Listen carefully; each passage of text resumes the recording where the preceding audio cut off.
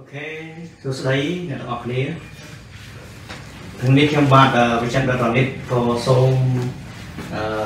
លើកយកក្នុងបទមួយដែលតាក់ទងជាមួយនឹងបញ្ហាស្ត្រីក្រោយអស់រដូវគឺខ្ញុំបាទចង់លើកឡើងតាក់ទងទៅនឹងបញ្ហានេះគឺបញ្ហា menopause ដែលស្ត្រីអស់រដូវហើយនៅក្នុងទស្សនវិជ្ជានៅពេលដែលអ្នកជំងឺគាត់អស់រដូវហើយតើគាត់នឹងអាចមានអ្វីខ្លះកើតឡើង អញ្ចឹងនៅក្នុងវីដេអូ live មួយនេះគឺយើងមានអត្ថប្រយោជន៍ច្រើនដើម្បីយកមកចែករំលែកបងប្អូនទាំងអស់គ្នាចែកជូនដោយ free ចេញពីបេដូចឹងនៅក្នុងជំងឺតាក់ទងមួយ menopause menopause នេះបើយើងគិតទៅ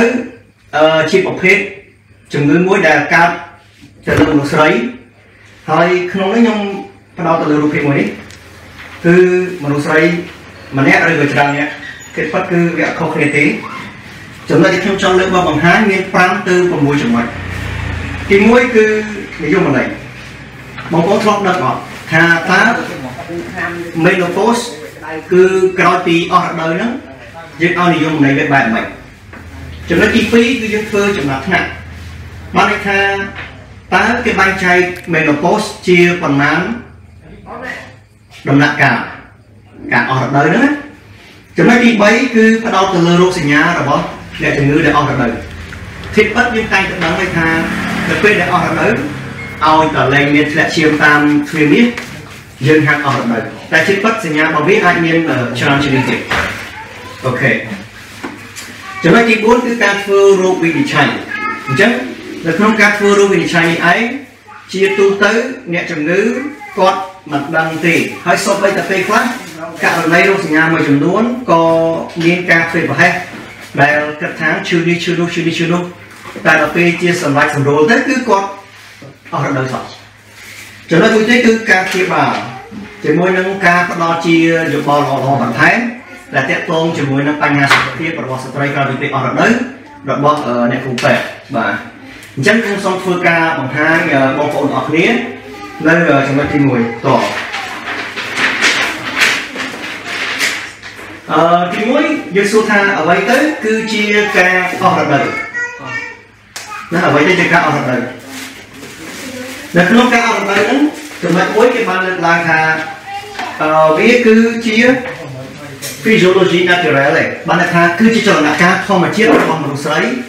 ដែលគ្រប់មនុស្សស្រីទាំងអស់តែងតែឆ្លងកាត់ការធ្លាក់ឈាមរដូវការមកឈាមរដូវជារយៈពេលខែឆ្នាំរហូតដល់ដល់ថ្ងៃមួយនៃ អវសានរបស់ក្រពេញភេទគឺគាត់នឹងអស់រដូវចំណុចទី2ចង់បញ្ជាក់ថាអាយុរបស់ស្ត្រីដែលភាគច្រើនគាត់អាចនឹងអស់រដូវស្ថិតនៅក្នុង color មួយគឺចន្លោះពីអាយុ45ទៅ55ឆ្នាំ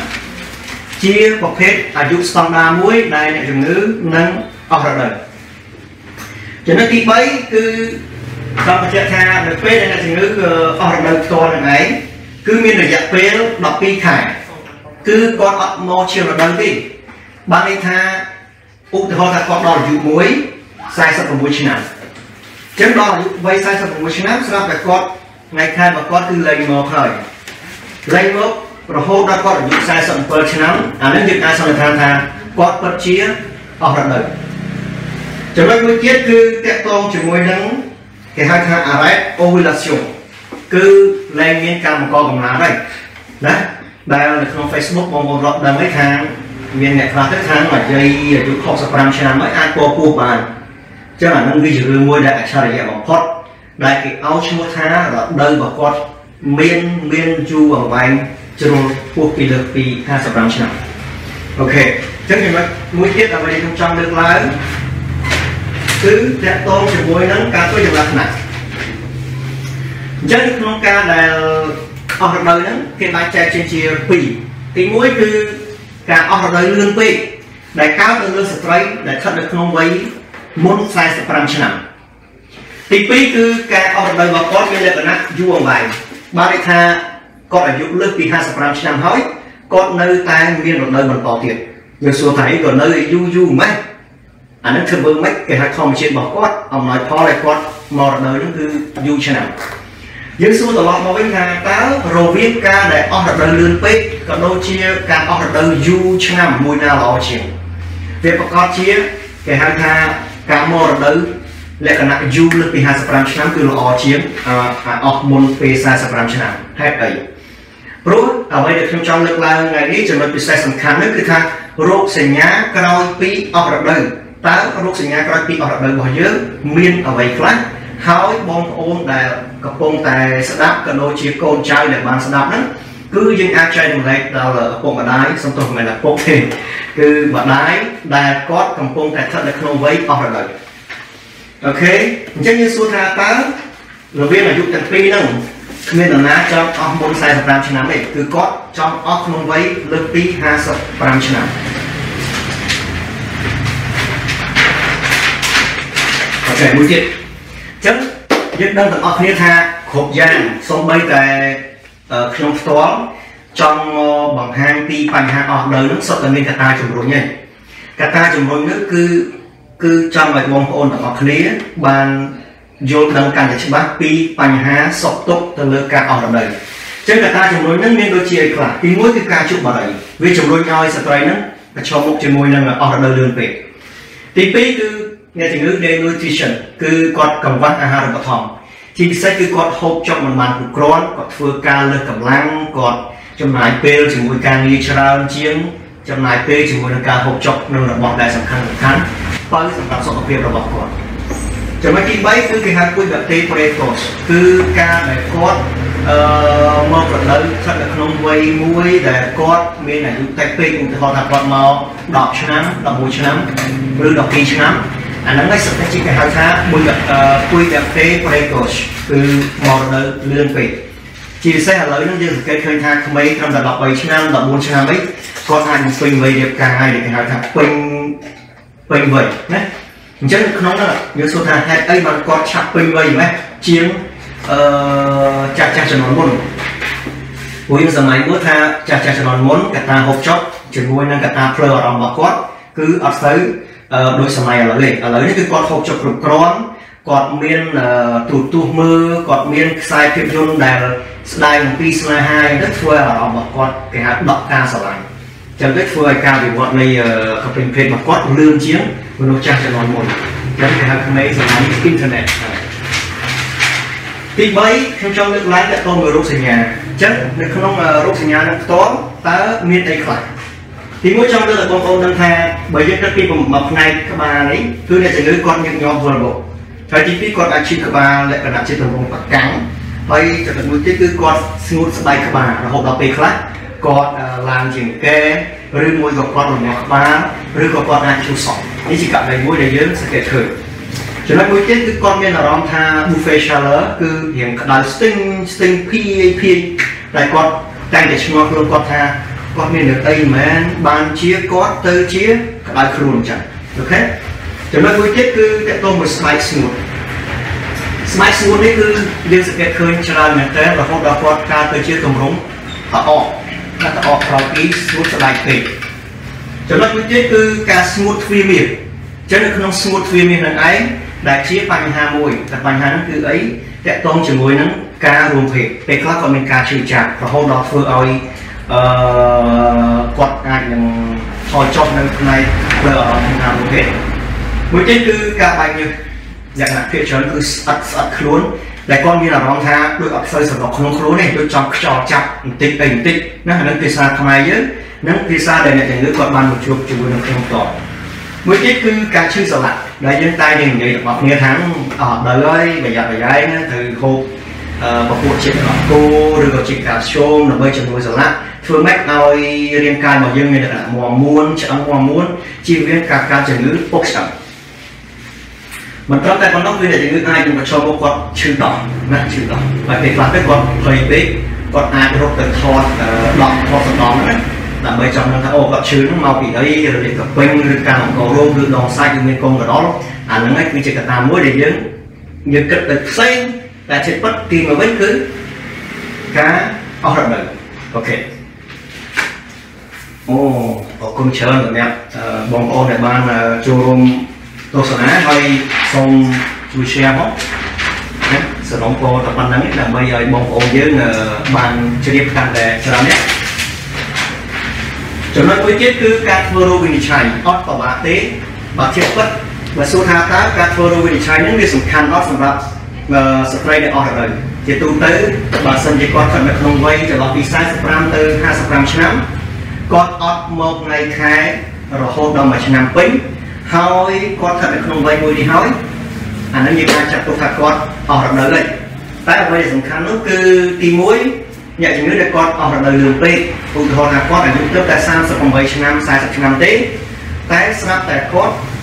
អត់មកថ្ងៃខែ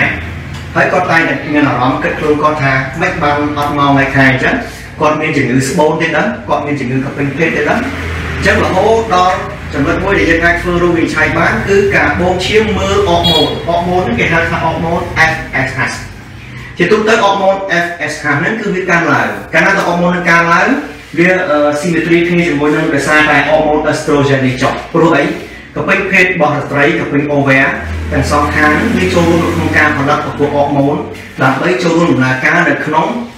ដំណើរការនៃការបង្កកំណើតក៏ដូចជាការវិវត្តរូបរាងនៃស្ត្រីផ្ទាល់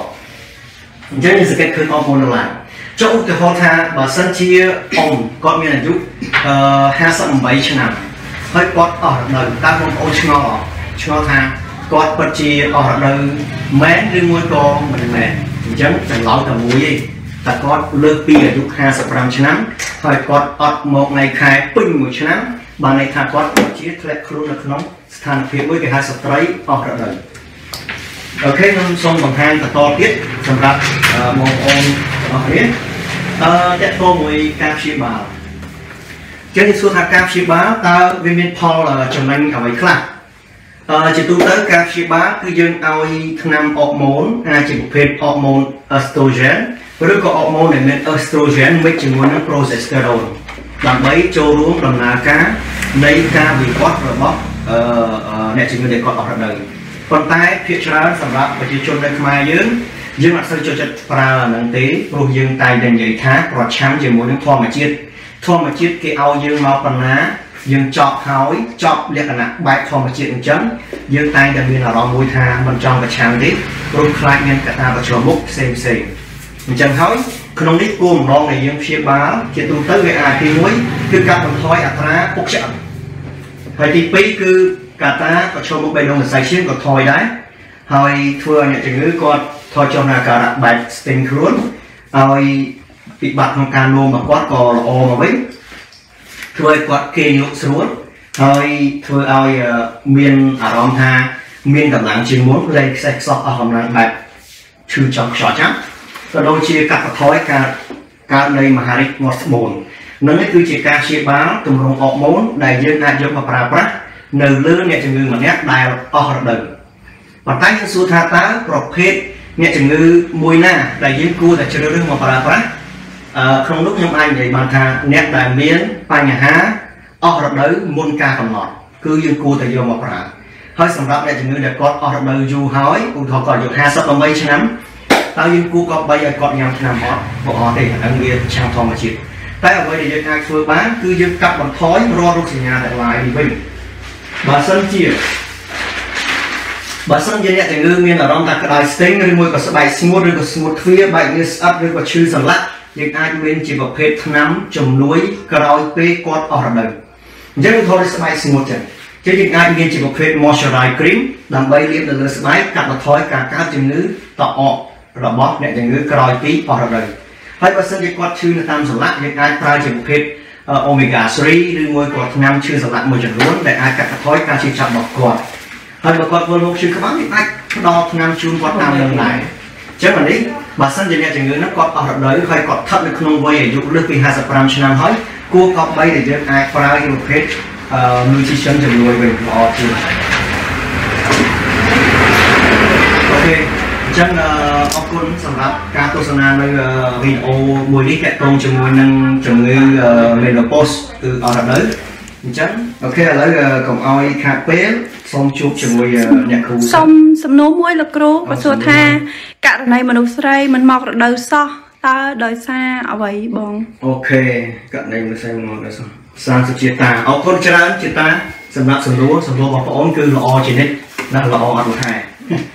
ជាទូទៅបើសិនស្ត្រីអត់មករដូវសោះគេហាក់មិនហៅស្ត្រីទេបើហៅគាត់កាត់ស្បូនហើយទៅដឹងណាតែគិតឡើងវិញប្រយ័ត្នគាត់កាត់ស្បូនហើយបើសិនជាក្នុងករណីដែលគាត់អឺអត់មករដូវយើងត្រូវរកមើលហេតុផលថាគេហៅថាអឺអានោះវាចូលទៅក្នុង topic មួយគឺ topic រាំងរដូវគេហៅ amenorrhea ណាវាអត់តាក់ទងជាមួយនឹង menopause ទេតែគឺខ្ញុំចង់លើកឡើងថាបើសិនជាក្នុងករណី menopause អឺអឺសំទោស amenorrhea វាមានពីរមានមានសង្គមដែរចឹងវាច្រើនដែលយើងសង្កេតឃើញគឺ amenorrhea គឺការរាំងរដូវដោយសារតែឧទាហរណ៍ថាគាត់គិតច្រើនពេកគាត់ធ្វើការងារច្រើនពេកគាត់ញ៉ាំថ្នាំឬក៏ញ៉ាំពពុះចំណីអាហារមិនបានគ្រប់គ្រាន់គាត់សម្រាប់មិនបានគ្រប់គ្រាន់គាត់មានអារម្មណ៍ថាតានតឹងសម្ពាធខ្លាំងពេកធ្វើឲ្យបំរែបំរួលអរម៉ូនរបស់គាត់នឹងគឺមិនល្អធ្វើឲ្យគាត់អាចនឹងរាំងរដូវហើយការរាំងរដូវរបស់គាត់គឺការប្រើប្រាស់ថ្នាំគឺខុសពីលក្ខណៈអ្នកជំងឺ ពុកឆ្អឹងអើសំទោស menopause អូខេសំណួរទី2ក៏សួរថាបើសិនជាស្ត្រីនឹងបបាត់រដូវរយៈមួយពេលមួយឆ្នាំហើយហើយត្រឡប់មកមានវិញអញ្ចឹងតើមានបញ្ហាអីដែលអត់ប្រគ្រូអាហ្នឹងគេហៅថារាំងភ្លៀងហើយមេឃអាកាសធាតុក្តៅស្ងួតហួតហែងអត់ភ្លៀងពេលដែលមេឃភ្លៀងយើងសប្បាយចិត្តអត់សប្បាយចិត្តអញ្ចឹងបានន័យថាហ្នឹងគឺជាដំណើរការធម្មជាតិរបស់ស្ត្រី ក្រោយពីពេលដែលគាត់រាំងរដូវបែរជាគាត់មានរដូវមកវិញអាហ្នឹងជារឿងល្អបានន័យថាយើងអាចធ្វើអីដើម្បីបើសុខភាពស្បូនយើងមកវិញមកល្អហើយអូខេសំណួរបន្តគាត់បញ្ជាក់ថាសុជីតាមិញហ្នឹងគាត់បញ្ជាក់ថាមិត្តភក្តិរបស់គាត់អាយុ27ឆ្នាំហើយហើយអត់មករដូវសោះ27ឆ្នាំអត់មករដូវចាឥឡូវបើសិនជាអាចអឺក្នុងនេះមានលក្ខខណ្ឌច្រើន យើងអាចមានជាប្រភេទថ្នាំញ៉ាំជាវីតាមីន supplement ឬក៏ជាប្រភេទថ្នាំអរម៉ូនឬក៏ជាប្រភេទថ្នាំដែលជួយសម្រួលផ្នែកអារម្មណ៍របស់គាត់អញ្ចឹងសម្រាប់ករណីនេះប្រហែលជាអាចជួយដោះស្រាយបានសូមសំណួរពិសេសមួយទៀតលោកគ្រូសំណួរអ្វីដែរ ចាគាត់សួរថាក្នុងករណីស្ត្រីអាយុ31ឆ្នាំគាត់រាំងរដូវដោយសារតែគាត់ប្រើប្រាស់ថ្នាំជាប្រចាំគឺថ្នាំជាកំណើតអឺថ្នាំផ្លូវចិត្តលោកគ្រូចាថ្នាំផ្លូវចិត្តតើគាត់គួរតែព្យាបាលឲ្យមករដូវដែរឬទេជាទូទៅបើសិនជាក្នុងករណីដែលយើងមានបញ្ហាសុខភាពផ្លូវចិត្តយើងសួរថាតើគាត់ដោះស្រាយបញ្ហាផ្លូវចិត្តហើយឬនៅព្រោះគ្រប់ជំងឺផ្លូវចិត្តទាំងអស់លើកលែងតែករណីមួយគឺគាត់មានជំងឺឆ្កួតជ្រូកណា មិនមែនប្រកាសឆ្កួតជ្រូកទេគេហៅថាជំងឺវិកលចរិតដែលខ្មែរយើងតែនិយាយថាឆ្កួតជ្រូកឆ្កួតជ្រូកចឹងណាអញ្ចឹងបើក្រៅពីជំងឺនឹងទេយើងត្រូវប្រឹក្សាយោបល់ជាមួយគ្រូពេទ្យផ្នែកផ្លូវចិត្តព្រោះអីក្នុងករណីហ្នឹងអឺគ្រូពេទ្យផ្លូវចិត្តអាចនឹងសេរីថ្នាំដើម្បីកាត់បន្ថយអត្រាដែលគេហៅ side effect របស់ថ្នាំដែលធ្វើឲ្យមានការរំលាយចឹងយើងគួរតែរកវិធីសាស្ត្រល្អជាងហើយបូកជាមួយនឹងយើងញ៉ាំថ្នាំក៏ដូចជា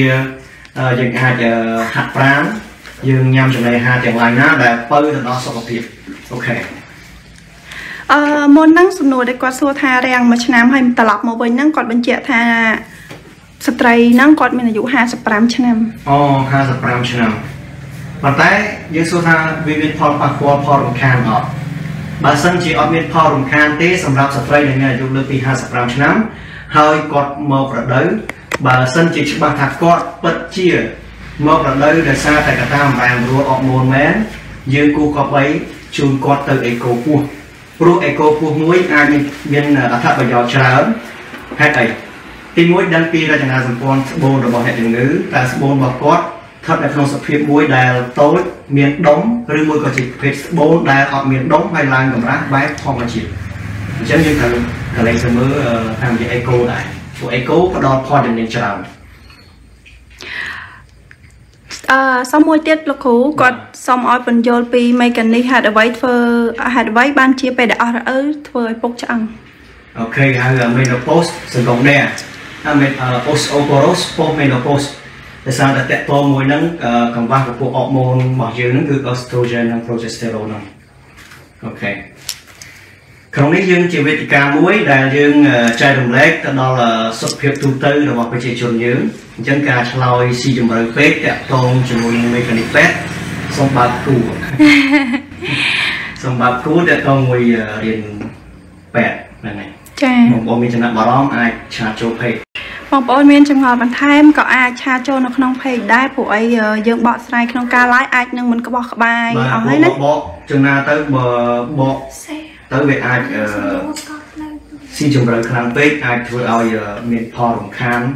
ដែលបងប្អូនយើងខ្លះគាត់ស្ដាប់ទៅអត់សូវយល់ហ្នឹងហើយនឹងជាចំណុចមួយដែលយើងចែករំលែកបានហើយហើយសុំសំណួរមួយទៀតមកលោកគ្រូបាទសំណួរអីដែរគាត់សួរថាឆ្ងល់ត្រង់ថាតកតងនឹងការមករដូវរបស់ស្ត្រី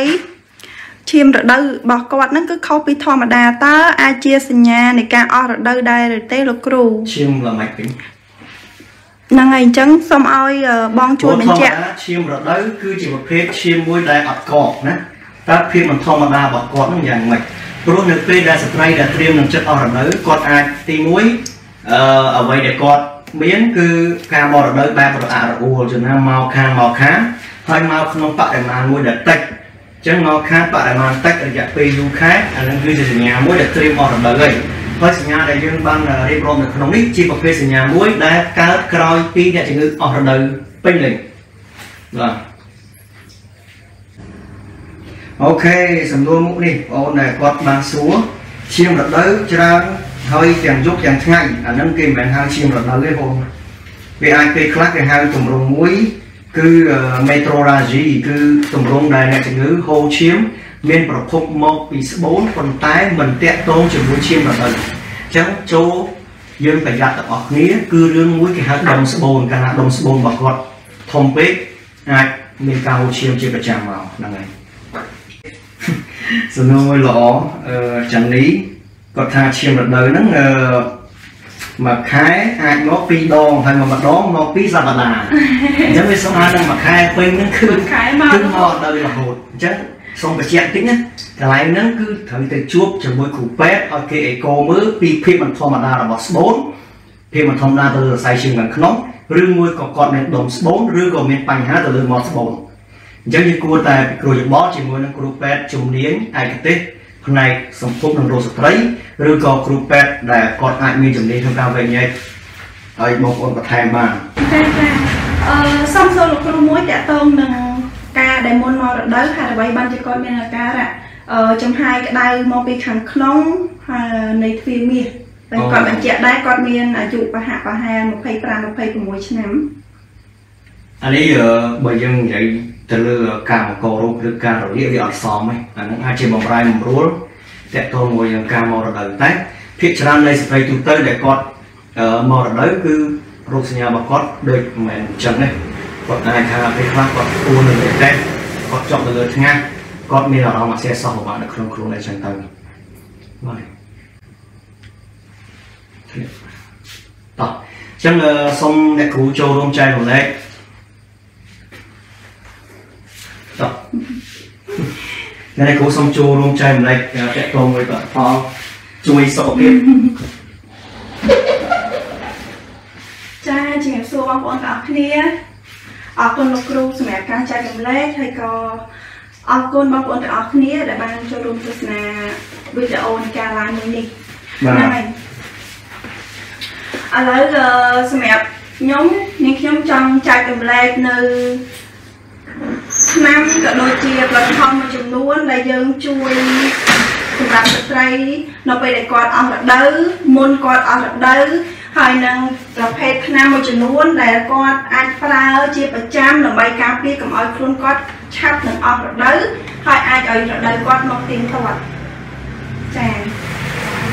ឥឡូវទី1នេះខ្ញុំសូមលើកបង្ហាញអំពីទឹកដោះគោជំនួយឆ្អឹងទឹកដោះគោនេះខ្ញុំជឿជាក់ថាបងប្អូនទាំងអស់គ្នាប្រហែលជាស្គាល់ច្រើនព្រោះមាន sport ពាណិជ្ជកម្មច្រើនដែរដែលបង្ហាញ អញ្ចឹងឈ្មោះរបស់វាគឺ Airline ជាប្រភេទទឹកដោះគោដែលយើងប្រើបានចាប់ពីស្ត្រីអាយុចាប់ពី19ឆ្នាំឡើងទៅហើយនៅក្នុងហ្នឹងយើងមានសារធាតុសំខាន់សំខាន់ជាច្រើនដូចជាជាតិកាល់ស្យូមដូចជាពពួក collagen ពពួក protein សារជាតិជំនួយឆ្អឹងហើយមួយទៀតហ្នឹងគឺធ្វើឲ្យគាត់មានកម្លាំងគឺពួកពួកអឺជំនួយកម្លាំងណា បាទហ្នឹងហើយចំណុចពិសេសមួយទៀតគឺមានកូលេស្តេរ៉ុលទាបអូខេអត់ឲ្យធាត់ទេសម្រាប់អ្នកដែលមិនចង់ឲ្យឡើងគីឡូចុះអ្នកគ្រូអឺអត្ថប្រយោជន៍របស់ទឹកដោះគោហ្នឹងយើងប្រើពេលណាបានបានដឹងពីអឺគុណភាពរបស់វាទៅអាទឹកដោះគោនេះវាប្រៀបដូចជាអាហាររបស់យើងអញ្ចឹងគឺយើងត្រូវប្រើរយៈពេលយូរអង្វែងទើបយើងដឹងពីអឺប្រសិទ្ធភាព ហើយភ្លាមភ្លាមយើងអាចមានអារម្មណ៍ថាយើងមានកម្លាំងយើងស្រួលខ្លួនក៏ដូចជាឆ្អឹងរបស់យើងអឺយើងមាំជាងមុនចុះរបៀបប្រើប្រាស់វិញពិបាកឬមួយក៏សំណុកប្រើប្រាស់ងាយស្រួលទេ គឺយើងប្រើក្នុងមួយថ្ងៃតែពីរដងមួយដងមួយកែវយើងប្រើទឹកត្រជាក់ក៏បានឬក៏ទឹកក្តៅអ៊ុនអ៊ុនក៏បានមួយកែវទៅយើងដាក់អឺ4ស្លាបព្រានៃអឺទឹកដោះគោទៅណាអូខេអញ្ចឹងអឺទឹកដោះគោហ្នឹងបងប្អូនអាចរកទិញនៅតាម pharmacy បានណា អត់អីទេនេះគឺជាការចែកម្លែកមួយដែលតាក់ទងជាមួយនឹងអឺផ្នែកអឺប្រភេទទឹកដោះគោជំនួយសុខភាព និងឆ្អឹងឲ្យរឹងមាំសម្រាប់ស្ត្រីដែលគាត់អឺឆិតនៅក្នុងវ័យអឺមុនអស់រដូវអស់រដូវនិងក្រោយអស់រដូវចាអរគុណច្រើនចឹងអ្នកគ្រូមានអីបន្តទៀតអ្នកគ្រូអឺបន្តមកទៀតនេះខ្ញុំសូមបង្ហាញនៅប្រភេទវីតាមីនអូខេដែលជាវីតាមីនអឺជំនួយទាំងស្បែក ហើយវីតាមីននេះដែរក៏យើងអាចអឺជំនួយដល់ស្បូនរបស់យើងដែរព្រោះអានេះគឺខ្ញុំលើកពីបទពិសោធន៍តខ្លួនរបស់ខ្លួនឯងយើងប្រើរយៈពេលយូរឃើញថាស្បែករបស់យើងមានសំណើមស្បែករបស់យើងមានសុខភាពល្អហើយជាពិសេសរដូវរបស់ខ្ញុំគឺទៀងទាត់ព្រោះអឺពីមុនរដូវរបស់ខ្ញុំអាចថាយើងមករអារអួលយើងខ្វះឬលើសថ្ងៃអញ្ចឹងណា អញ្ចឹងបន្ទាប់ពីយើងប្រើពួកវីតាមីន E វីតាមីន E យើងមានច្រើនម៉ូតច្រើនប្រភេទបងប្អូនអឺស្រឡាញ់ពេញចិត្តមួយណាអាចប្រើទៅតាមចំណង់ចំណូលចិត្តគាត់តែថាប្រភេទមួយនេះគឺអឺខ្ញុំប្រើខ្លួនឯងអញ្ចឹង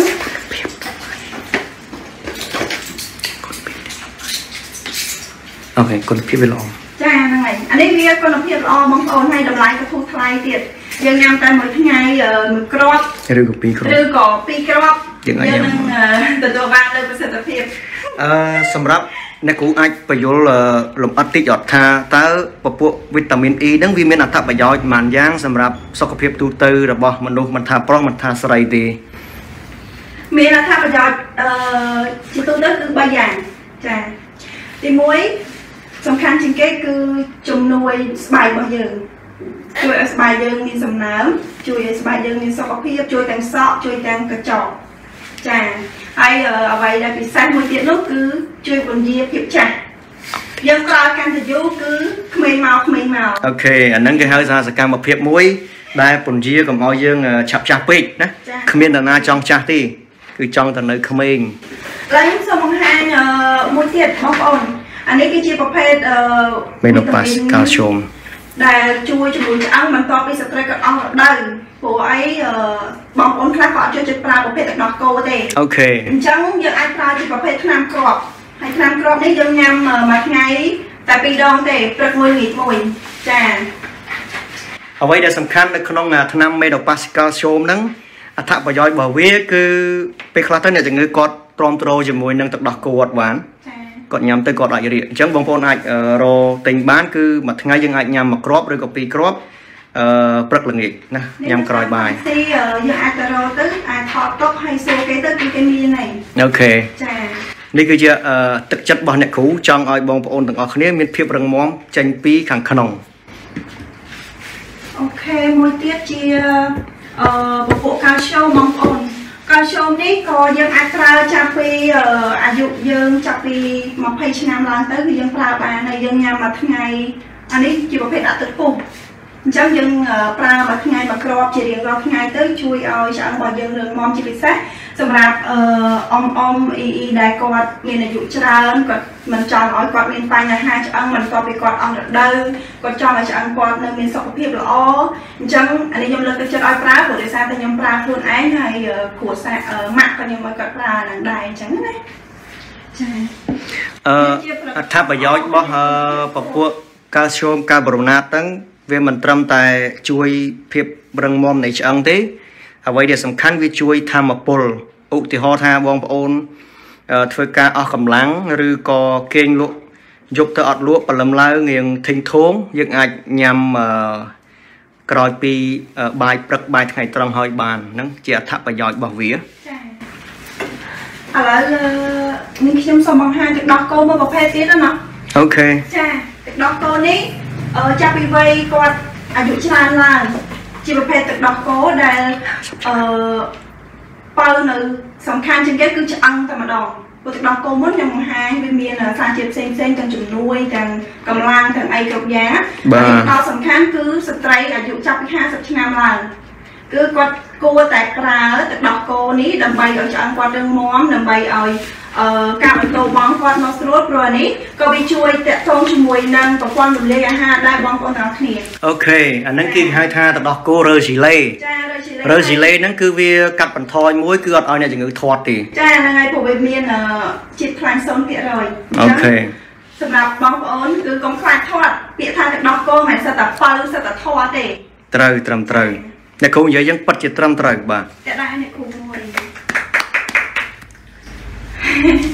មានតែគ្នាពីរ3នាក់អញ្ចឹងតែដែរទៅលើបងប្អូនឥឡូវខ្ញុំសូមបង្ហាញចុងក្រោយគេគឺសម្រាប់អមអមយាយយាយដែលគាត់បន្ទាប់ពីគាត់អស់រដូវហើយគាត់ចាប់ផ្ដើមឈ្មោះស្បែកលំអស្បែកមើលទឹកហើយភ្លាមលំអអេសកាន់តែយូរគឺកាន់តែជក់ដៃដោយសារអីគឺដោយសារស្បែកគាត់ស្ងួត ពួកពេលខ្លះគាត់យកច្រឡំថាអូគាត់ថាជាលាក់ស៊ីតែមែនទេបងប្អូន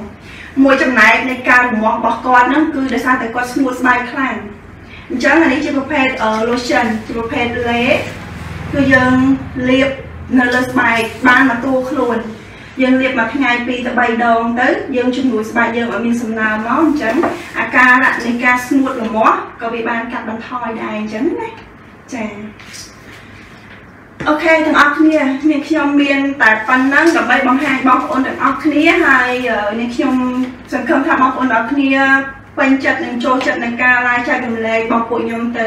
បងប្អូនទាំងអស់គ្នាចាំហើយសូមជួយ show ដាក់ទឹកពុកណាឈ្មោះរបស់វាគឺ Scassi Bernard បងប្អូនចាទៅដល់ពីដល់ទៅចាប់ដល់ចាប់ក្នុងនោះវាមាន20គ្រាប់ យើងអាចញ៉ាំបើសិនជាយើងនៅក្មេងយើងញ៉ាំមួយថ្ងៃរំលងមួយថ្ងៃហើយអឺយើងញ៉ាំពេលព្រឹកបន្ទាប់ពីញ៉ាំអាហាររួចល្អអានេះវាអត់មានប៉ះពាល់កាហ្វេអីណាគឺជាប្រភេទទឹកពុះមួយដែលអឺយើងហូបទៅគឺមានកម្លាំងជាមួយនឹងមានជាតិកាល់ស្យូមជាមួយច្រើនទៀត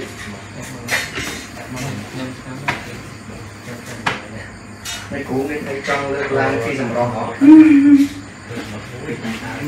ចាសូមយកតិចមុខអ្នកគ្រូឡើងក្មេងហើយស្បែកភ្លឺអឺហ្នឹងហើយអឺតើតោះឥឡូវយើងនិយាយពីបញ្ហាសុខភាពហើយយើងខ្ញុំសូមបង្ហាញពីអឺសម្រាប់ម្ដងយើងសុខភាពសំខាន់សម្រាប់ក៏សំខាន់អញ្ចឹង ត្រូវថែរក្សាទាំងសុខភាពទាំងសម្រាប់ហើយសម្រាប់មិនកើតមកយើងបានទេគេកើតមកគឺស្អាតធម្មជាតិគេស្អាតដោយមិនបាច់ធ្វើអីហ្នឹងជាបនសំណាងរបស់គេតែបើយើងស្អាតល្មមល្មមយើងកែខៃតិចទៅឲ្យកាន់តែស្អាតឲ្យកាន់តែមានភាពជឿជាក់ព្រោះស្អាតយកមានយកតាណាគឺយើងសំខាន់ឲ្យយើងមានភាពជឿជាក់លើខ្លួនឯងយើងប្រស័យតាក់តងជាមួយអ្នកដទៃដែលមានទំនុកចិត្តអញ្ចឹង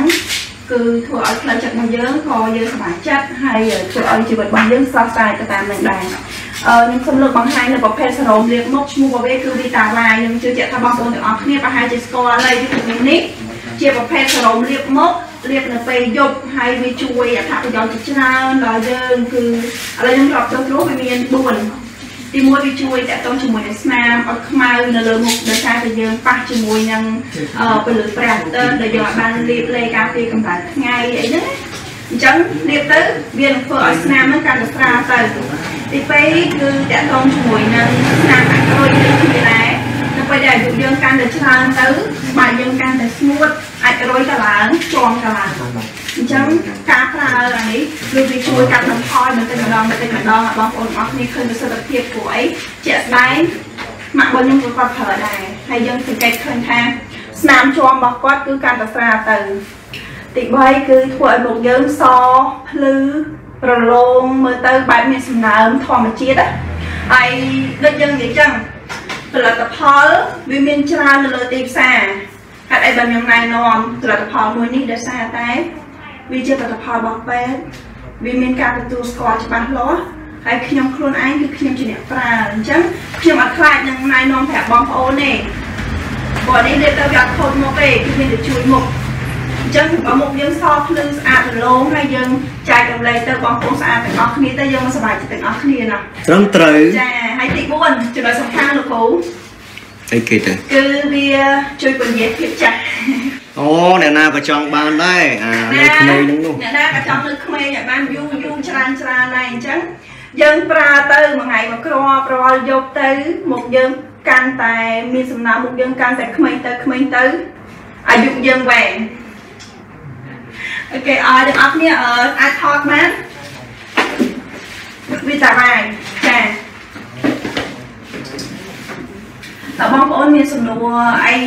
តាក់ទងជាមួយនឹងផលិតផលមួយចំនួនដែលខ្ញុំបានលើកមិញអត់ហើយបើសិនជាសំណួរបន្ថែមបងប្អូនអរគ្នាអាចអឺបានបងយើងចូលទៅក្នុងឆាតបាទអូយស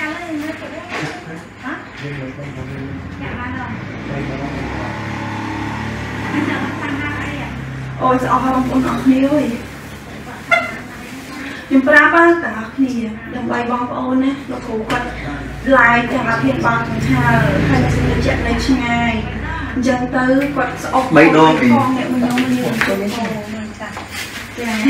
ទៅយកជិះទៅបានអូឈប់